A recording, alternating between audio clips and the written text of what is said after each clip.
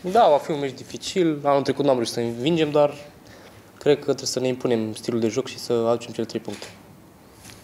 Faptul că sunteți pe locul întâi și e și meci acasă e o presiune în plus pentru voi, pentru a câștiga?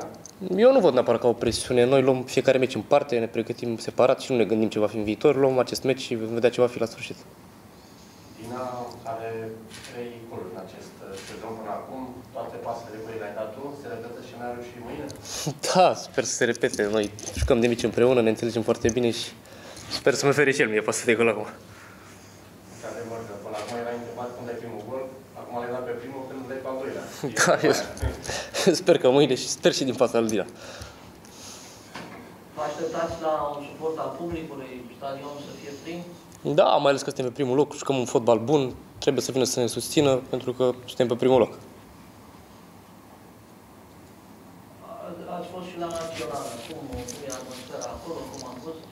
Da, a fost ok, noi nu prea am jucat, dar ce să spun, sper să jucăm mai mult la acțiunile viitoare. A fost bine cu băieții. Da. Da, totuși erai cel mai bun pasator, ești cel mai bun pasator din Liga 1. Poate Da, așa au considerat cei de acolo. Acum eu îmi fac treaba pe teren și sper să joc cât mai mult pe viitor. deci, ce părere ai de Cupa României, noul sistem? Grupă grea pentru fapt. Da, ieri am văzut că s-au tras grupele și eu am rapid cu CFR și cu cei de la Alexandria, dacă nu mă înșel. Noi sper să ne calificăm, să facem meci cât mai bune și sunt sigur că vom face o impresie foarte frumoasă. Dina urmează meciul cu UTA, cum vezi partida? O partidă dificilă, ținând cont că n-am reușit să câștigăm sezonul trecut împotriva lor. Mereu am avut meciuri grele.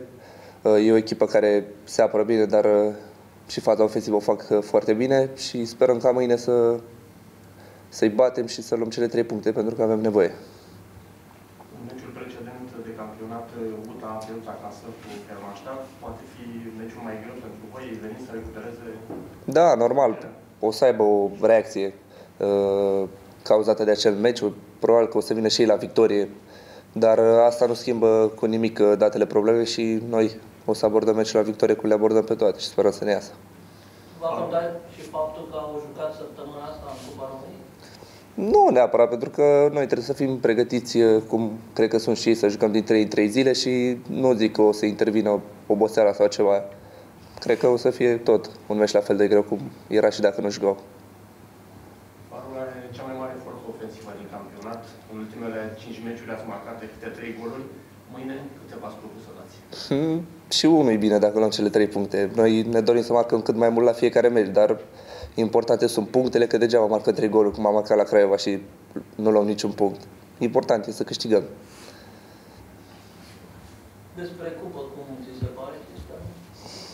Da, nu, nu trebuie să comentez despre sistem. Noi sperăm să avem un parcurs cât mai lung uh, în competiție, să rămânem cât mai mult și, și să acumulăm cât mai multe victorii. Nu este important formatul. Sunteți pe primul loc, suporterii, mâine stadionul plin.